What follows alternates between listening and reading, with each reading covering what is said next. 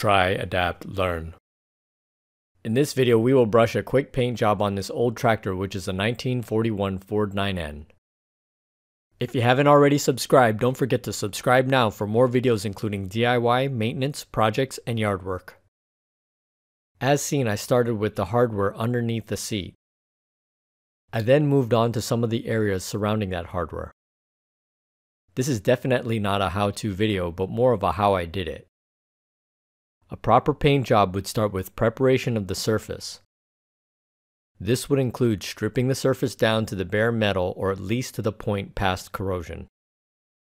The surface would then need to thoroughly be cleaned of dirt, dust, and chemicals. From there, usually some kind of primer would be the first layer, followed by a base coat, and then a clear coat for finishes such as automotive. The next area was the bottom of the seat itself, this was given next to no prep time except for a very quick sanding to have something for the paint to adhere to. So although this is not a proper paint job, it does accomplish a few things. First and the main priority of this process was to help delay the rust while working on other parts of this project. Now there is no doubt that there is quite a bit of rust on the surfaces throughout the tractor. Although it wasn't going to fall apart overnight, starting to knock off the surface rust could delay some of the spread. The paint job would also reduce the contact with the rust, dirt, and oil that was initially on the tractor. Since there was quite a bit of oil stained on the surface of the paint, a new paint job would also be a good point of reference to identify any active leaks versus oil that may have gathered in the past but not cleaned off. I then turned the seat over to the top of the seat. This is one of the first parts I wanted to paint first since it needed to dry first in order for me to sit on the tractor. The second idea is to test out a different color scheme. There was no specific goal for the color scheme at this time other than I preferred dark green over red and black. To test a different color scheme, we are painting this tractor with Hunter Green, a Rust-Oleum color. This green is noticeably darker than the familiar green used on John Deere tractors. This was old paint from a can already open, so it was even thicker than usual. I moved on to the hood next since it is such a big area. Although I wouldn't be sitting on the hood, I know that when working around the vehicle I would come in contact with it a lot. For this reason I also wanted it to be one of the first pieces to paint and dry. As a side note, Ford tractors in this year were said to have been painted fully gray, in later years, they would have been painted red with gray panels such as the hood and fenders. The later Ford tractors were also known for their blue colors. Another side note about color is that many of the tractor brands have had various color schemes throughout the years. That being said, currently John Deere is known for their green and yellow wheels. Any other yellow on John Deere is likely for their construction or industrial machinery. Case tractors have had different colors over the year and now Case IH is known for their red color. This Case IH red is similar to the red on the International Harvester, Farmall, and Massey Ferguson tractors. Oliver tractors had primarily green color with a little bit of white. Kubota tractors are known for their orange colors. Bobcats are known for their white color as well as additional orange color. And although Caterpillar is a construction equipment company, their primary color is yellow with an additional color of black. From this front view, there are also indications of the gray color that was originally painted from the factory. Once we were done with the bottom, we then moved on to the skid plate and the bumper that was fabricated for this tractor. The bumper itself shows little corrosion due to it being galvanized steel pipe. The hole in the pipe facing toward the front is likely part of the original purpose for the pipe.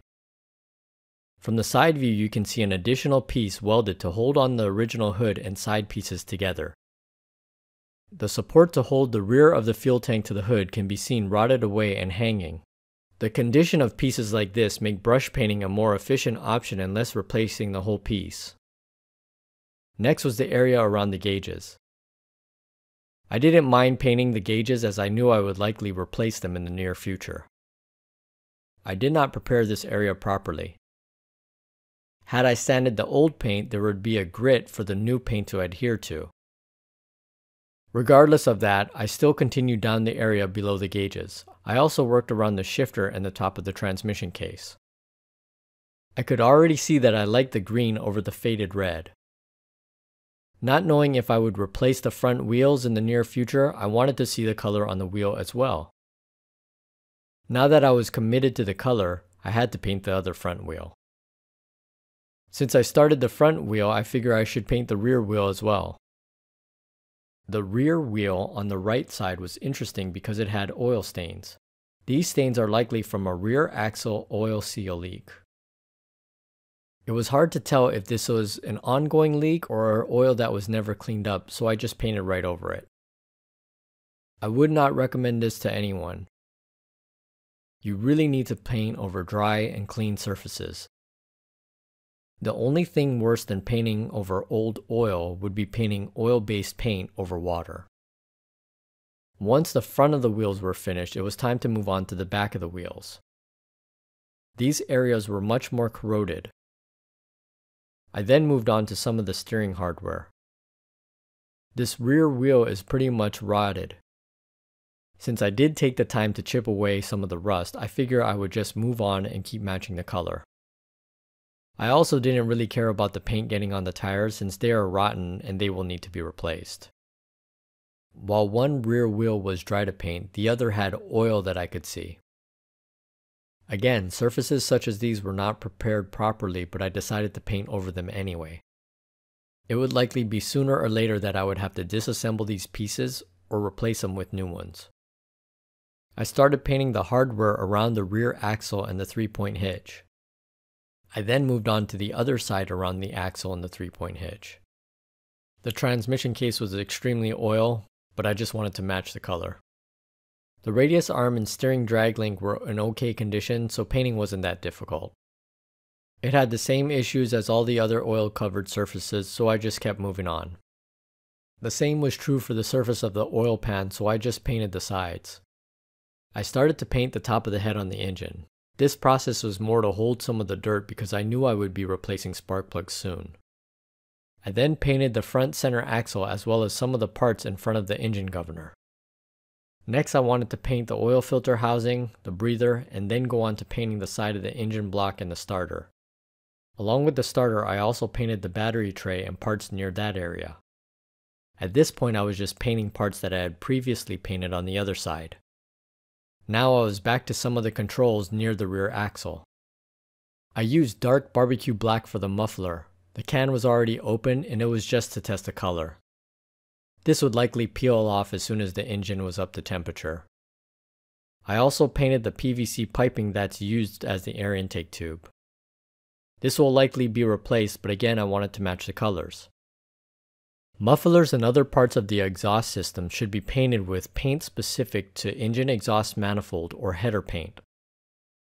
Now that the painting was underway, I also wanted to paint some of the hardware that would hold the fuel tank support against the hood. Since the corrosion on the alternator would likely return, I just decided to paint over it.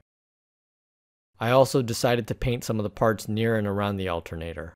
This definitely does give me a good idea of the color I want to go forward with. The painting also gave me a chance to spend time looking at the parts. This allowed me to start making choices of some of the tasks I want to accomplish first with this project. Although it may take as little as one day to dry, I let this dry for a couple days after the photos were taken. I've found that when you brush paint as thick as this, it typically takes a week for it to fully dry. I am satisfied with the results as it will help delay the rust while I try to get this tractor working in the yard. I figured I'd also paint the front end of the alternator. That being said, anybody who knows anything about paint knows that this will start to rust within months to a year. Without the proper preparation, rust will continue to grow underneath this paint. The only way to truly stop and protect it is to get down past the rust on the surface of the bare metal. That being said, once again, this has made a difference in my eyes, giving me a glimpse of what the project will look like moving forward. I also think the new color gives consistency to the whole tractor and is going to keep me motivated to continue working on it. So this is how it turned out. Overall, given where I'm at with this project, I'm satisfied with the paint. The reality is I may be going through these parts and changing them anyway. Even with the process as unconventional as a green Ford tractor, I hope you enjoyed watching it as I do looking at it compared to what it was. As I make new videos, I want to share them with you, so subscribe now. Also comment, like, and check out some of the other content on our channel.